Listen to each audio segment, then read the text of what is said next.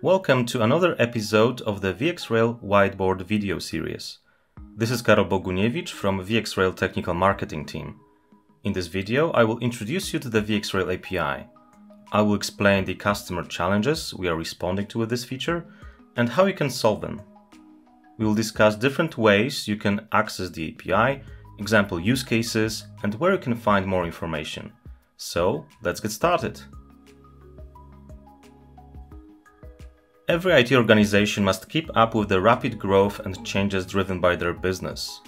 They are pressured to respond to these changes quickly and are often challenged to constantly optimize their services to accelerate delivery times and reduce costs. Automation is one of the possible solutions, but end-to-end data center automation is intricate because legacy IT infrastructure can be complex.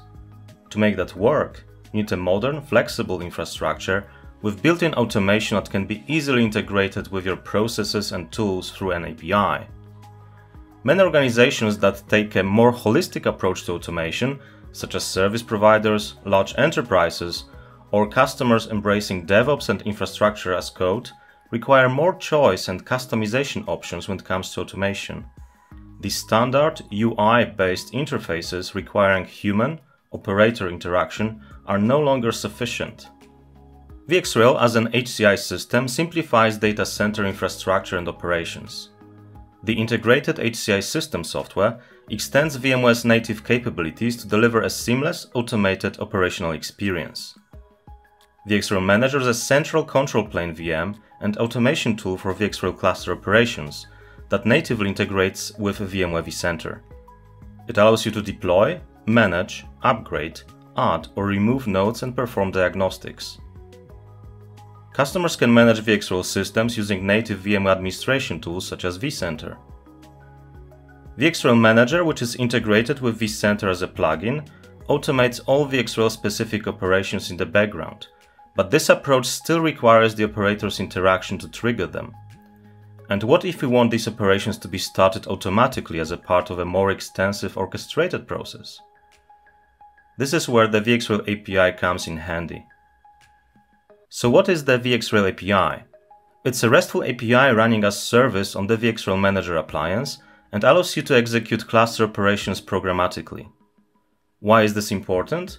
Because REST is an architecture that enables you to execute these operations from virtually any automation framework, programming language, or API client of your choice. Regardless of the client, the communication happens using the secure HTTPS protocol. Let me give you a couple of examples. The easiest way to get started is by exploring built-in interactive web-based documentation. It's as simple as opening this URL from a web browser and you'll be presented with an intuitive interface where you can list the available functions, required parameters, sample responses, and even test these functions on a live system. If you're a more advanced REST API user or developer, you might be using a dedicated client application such as Postman.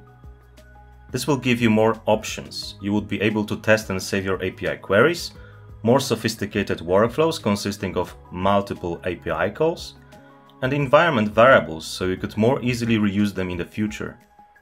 Another advantage of this approach is that you can automatically generate code snippets in the programming language of your choice which is a tremendous help if you're a developer consuming API via code. Another option is using the API from an automation framework of your choice. If you're a Windows Server or vSphere admin, you should be familiar with PowerShell and PowerCLI, an official VMware module for this framework. PowerShell on its own provides standard functions for interacting with REST APIs, but we've made that even simpler by creating the VxRail API PowerShell modules package. It contains wrapper functions for the API fully integrated into PowerShell providing you with simpler syntax and built-in help. And if you're using PowerCLI, you'll have a similar end-user experience you are familiar with, and you can use both together. If your organization decided to use an open source configuration management framework to automate their infrastructure, such as Ansible, then we've got you covered there too. These frameworks typically provide standard modules for interacting with REST APIs. In the case of Ansible, it's the URI module. Because we understand how important it is for some of our customers, we make it even simpler for them with our official Ansible modules, which are now available from Ansible Galaxy and on GitHub. What's great about these modules is not only that they are maintained and supported. These modules are written so that all of the operations are idempotent, meaning that making multiple identical requests has the same effect as making a single request. Idempotency is one of the principles of infrastructure as code, and it is key for customers who would like to embrace this approach for managing their infrastructure. Finally, you can use the VxRail API like any other REST API simply from a CLI on any operating system by using the curl command. And the CLI might be an option to integrate the API with virtually any automation framework that for some reason might not have a standard module for interacting with REST APIs. Thankfully, even the most basic automation frameworks typically have an option to execute CLI commands on a system. Our customers often ask us how to automate use cases such as cluster deployment, scaling out, or LCM upgrades. You can do all of this and even more because the API is very comprehensive. You can automate operations in three categories. System information queries. For instance, how to collect inventory information about the system and its components. Day 1 operations Everything related to the initial deployment after you power on the system for the first time in your data center. Day 2 operations. Ongoing cluster management tasks such as adding and removing nodes and upgrades or collecting log bundles and shutting down clusters. We generally focus on VxRail specific operations and you can extend your capabilities with other APIs from VMware such as the vSphere Automation API and the VCF on VxRail API.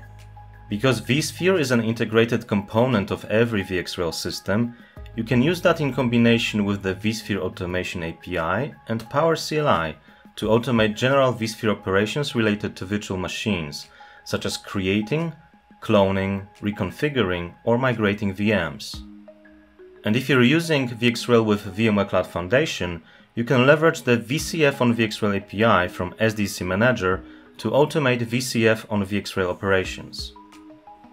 In fact, our engineering team works closely with VMware's Cloud Foundation engineering team, and some of the VxRail API functions are integrated into SDDC Manager automation workflows. All of these capabilities are available from the automation framework of your choice, giving you total integration flexibility to maximize the benefits of your existing investments. Let's recap. VxRail API is a RESTful API that allows you to automate VxRail operations programmatically, eliminating the need for GUI interaction. You can use the VxRail API with an automation tool of your choice, and we make it especially easy for PowerShell and Ansible users. This way you can automate your processes to save time, reduce errors and create better use of your existing investments. As you customize the levels of automation to the needs and standards within your organization, you will become more agile in answering the needs of your business. To learn more, please visit this URL vxrail.is/api or vxrail.is/interactive journey, where you will find all the resources you need to get started. Thank you for watching.